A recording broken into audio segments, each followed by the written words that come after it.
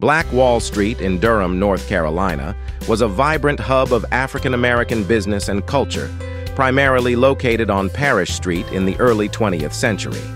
This area became renowned for its thriving black-owned businesses and financial institutions, most notably the North Carolina Mutual Life Insurance Company and Mechanics and Farmers Bank, both of which played crucial roles in fostering black economic independence. Leaders like John Merrick, Dr. Aaron McDuffie Moore, and C.C. Spaulding were instrumental in creating a community where black entrepreneurship flourished, despite the oppressive environment of Jim Crow segregation.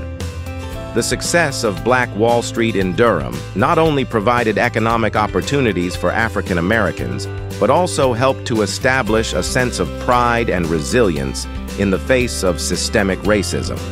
It became a model for black economic empowerment across the United States, showcasing the potential for prosperity through community solidarity and self-reliance.